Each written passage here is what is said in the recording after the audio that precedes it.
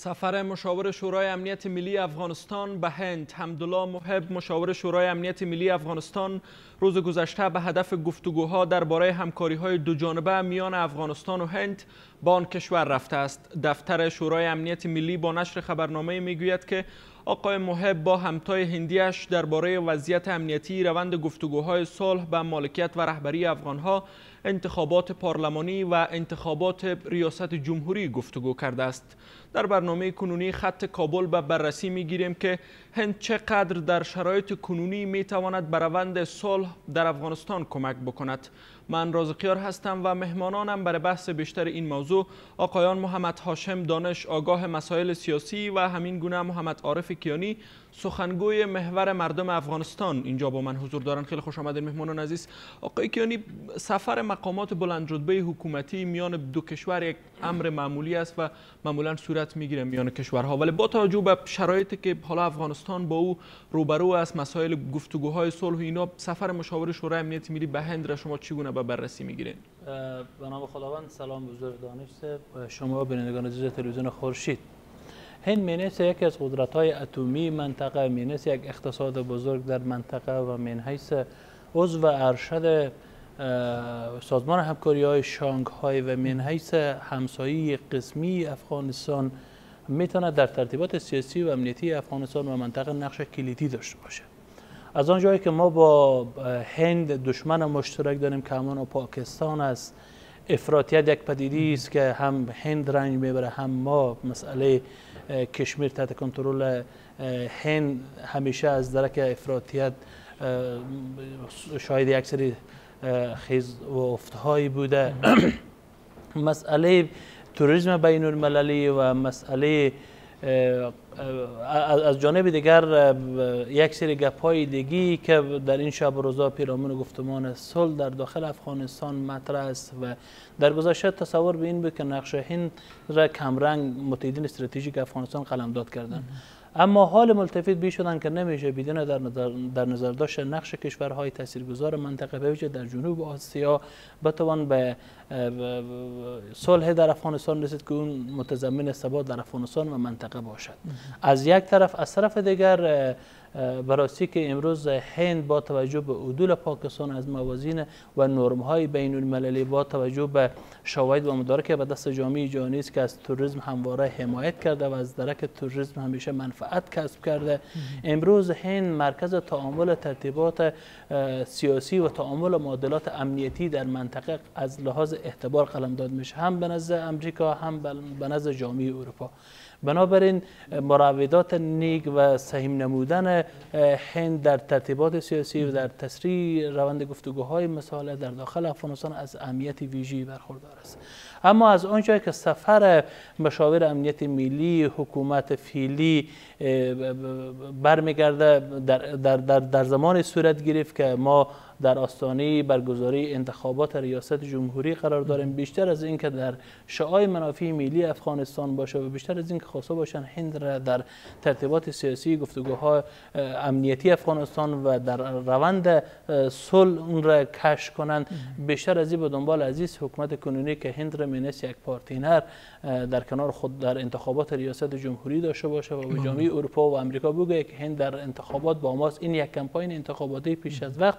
از جانب تیم حاکم است. سپاسگزارم آقای دانش. دیدگاه شما چی است؟ این چقدر می‌تونه در شرایط کنونی در روند صلح افغانستان نقش مثبت بازی بکنه تشکر. نخست از همه سلام و عرض ادب خدمت شما همکارای تکنیکی بیننده های محترم جناب کیانی صاحب. سلامت باشید. و قبل از اینکه روی نقش هند صحبت بکنیم بهتر این خواهد بود که دست و پاچه شدن حکومت وحدت ملی را صحبت بکنیم که چطور به هند سفر کردن؟ بله. چرا به هند سفر کردن؟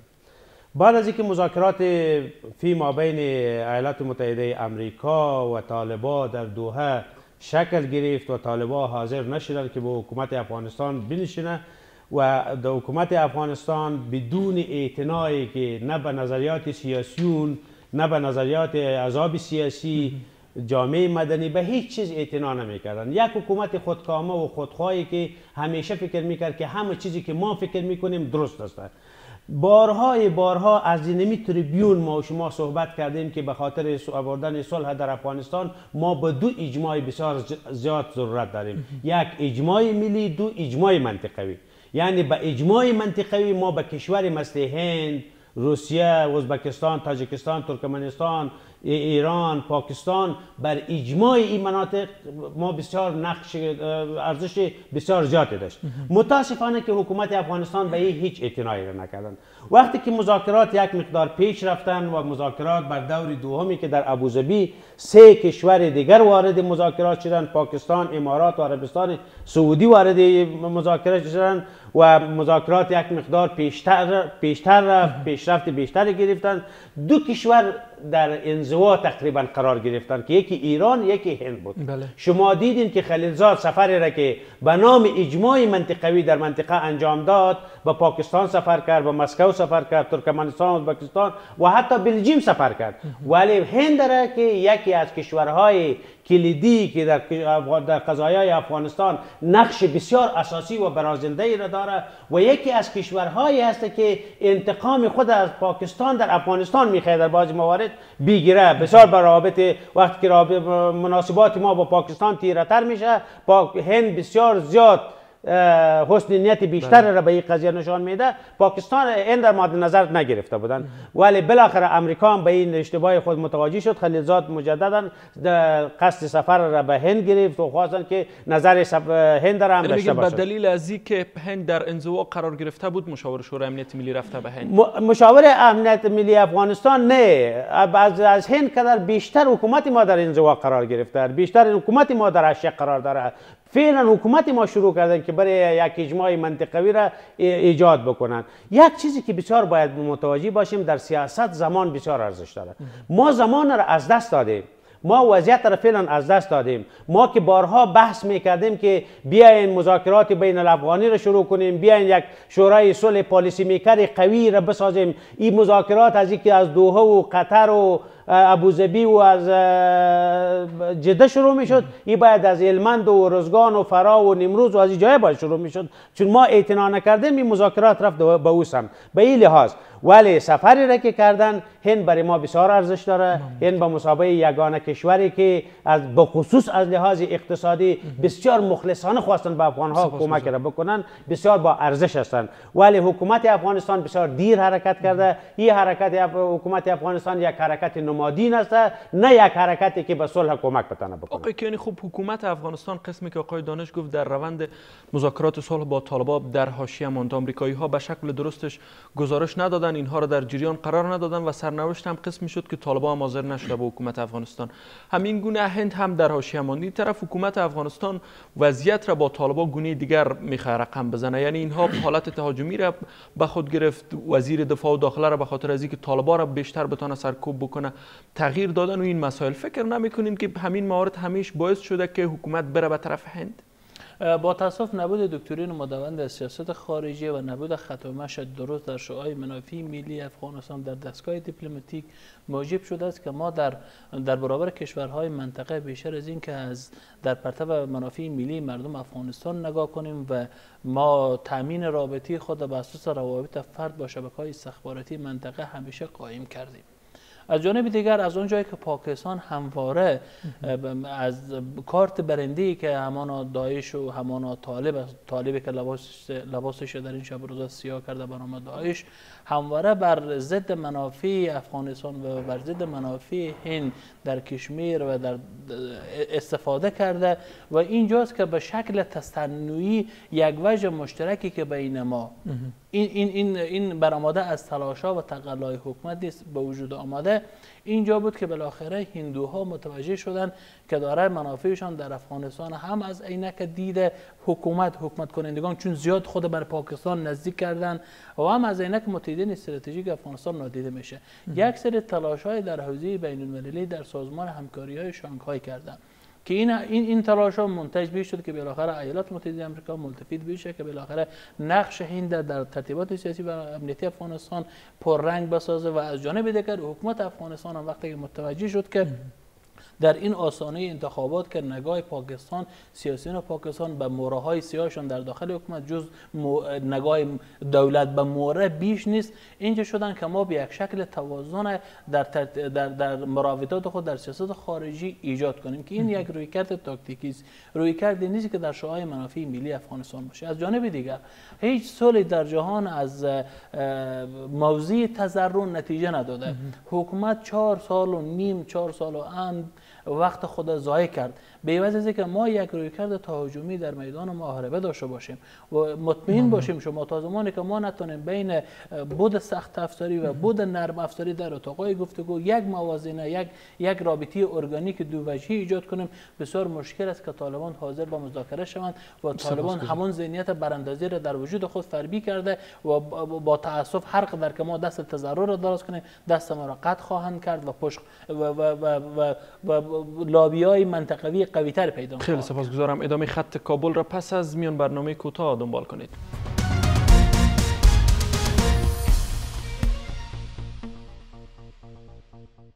ادامه برنامه. آقای دانش بحث دیگر رقابت های منفی هند و پاکستان است. شما هم اشاره کردین بر از خب حالا هرچی است پاکستان به خلیلزاد وعده داده که همکاری می‌کنه در بخش صلح افغانستان. اگر این طرف حکومت افغانستان برعکس آن چیزی که آقای خلیلزاد می‌خواد بیا به طرف هند بره فکر می‌کنین وضعیت چی خواهد شد؟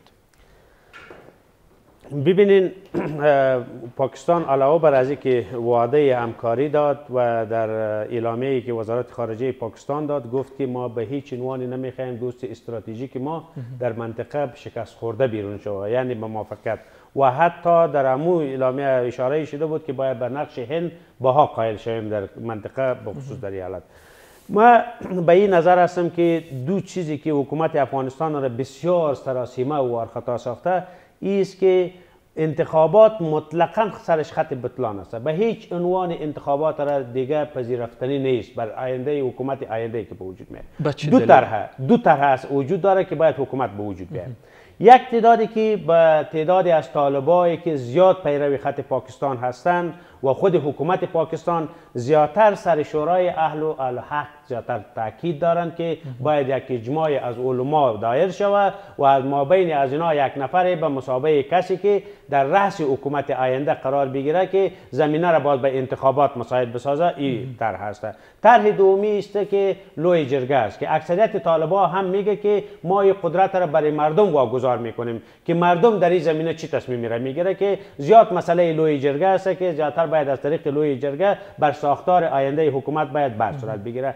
ما یک بحث پیشتری که با شما در اینجا داشتم ما بر شما گفتم که بله. اگر مذاکرات جده برگزار شود که احتمالاتش فعلا سبوتاژ شد و سبوتاژ کردنش هم زیاد ایران نقش داره در این قضیه نه ای که طالبان زیاد نقش را داشته باشه که یک بحث بسیار طولانی است که نمی‌خوایم.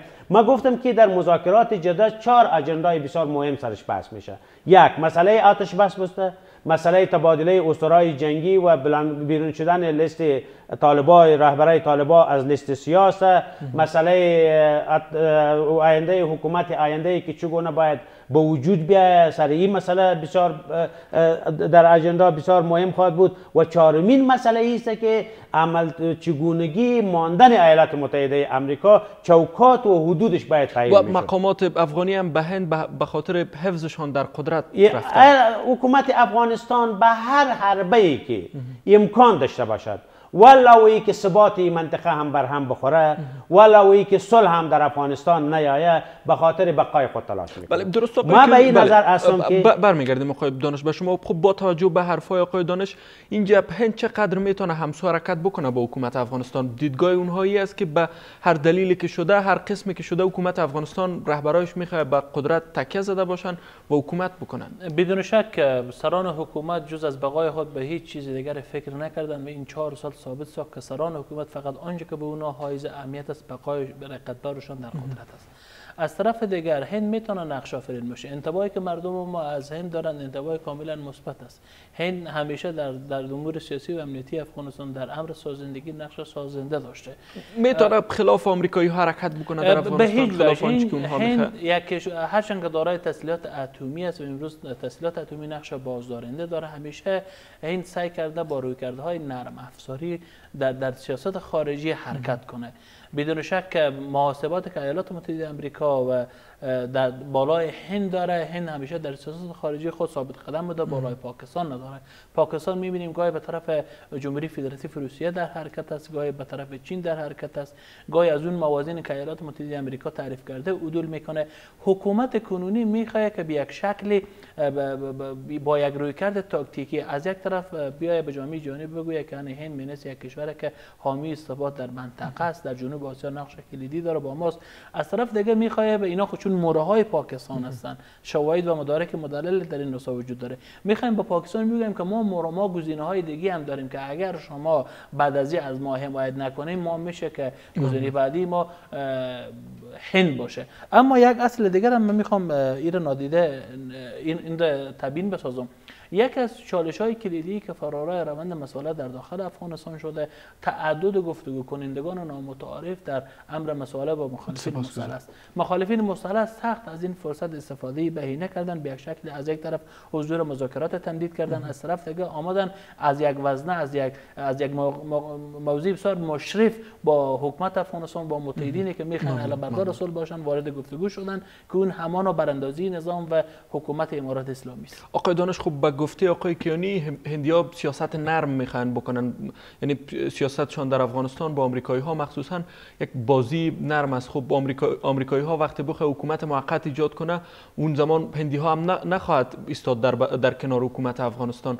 فکر نمی‌کنین اون زمان آنچه مقامات حکومتی می‌خواد جنبه عملی به خود نخواهد گرفت دیگه؟ ما به یقین میگم که توپ از میدان بازی حکومت وحدت ملی خطا خورده. حکومت وحدت ملی یک حکومت به سطح فیسبوک تبدیل شده. یک چیزی که ما می‌خوایم بازم سر موضوع هم یک بحثی بکنم که ملت افغانستان آگاه باشه.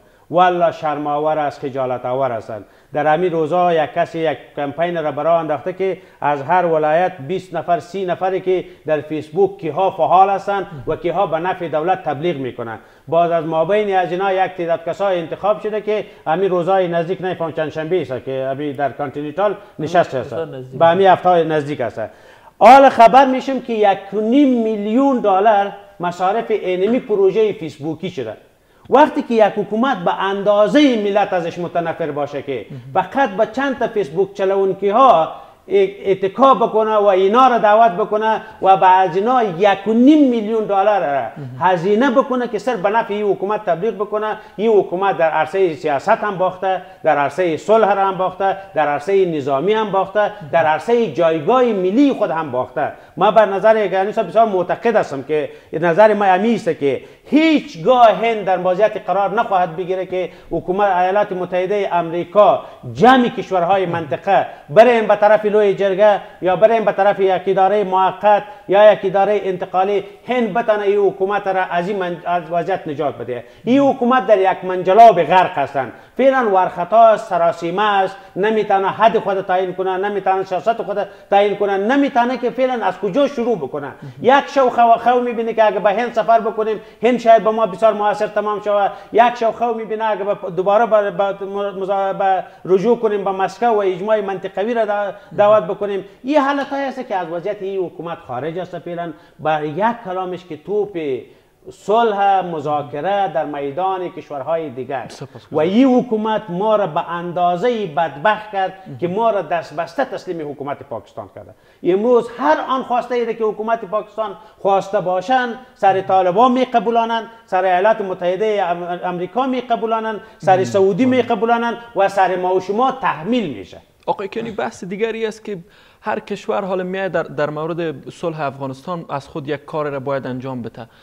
دمی زودی ها شاید یک نشست در ترکیه برگزار شود یا مقامات حکومت افغانستان و مقامات حکومت پاکستان در این نشست اشتراک خواهد کرد. فکر می‌کنین وضعیت چی است بالاخره؟ اینا چی می‌خوان؟ وضعیت یک سراسیمگی آشفتگی سیاسی که ناشی از عدم موجودیت برنامه های مدون و مشخص حکومت در امر مسئله است.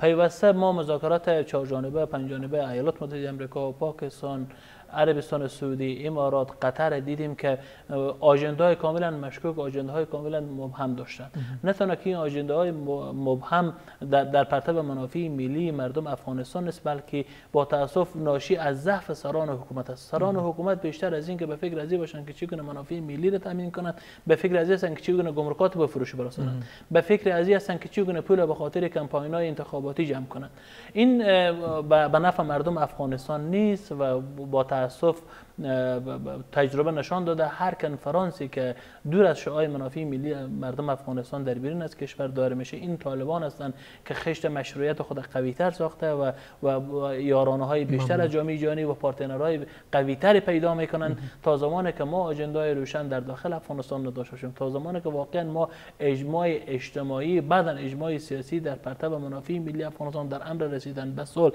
تامین نکنیم. و تا زمانی که قانونیت و مشروعیت در حکومت بر نگرده این حکومت معلول و معیب باشه. هیچ گونه چشم انداز و افق روشنی در امر نتیجه دادن گفتگوهای مسائل با مخالفین مسئله نمی‌توان ارائه کرد و فقط وقت تلف کردن و میخ مشروعیت طالب کوبیدن است. آقای دانش می‌خوایم کوتاه پاسخ بدیم به گفتی آقای کیونی دولت مردان حکومت افغانستان به منافع ملی فکر نمی‌کنن. تمامی دیدشان دید شخصی است. شما هم گفتین که در بخش صلح و انتخابات و اینا هم اینا ناکام بودن. پس کل موضوع برمیگرده بر مردم. باید مردم بیان یک کار بکنن بالاخره. مردم چی باید بکنن؟ بهترین راه است که مردم تصمیم خود بر آینده خود خودشان بگیرن.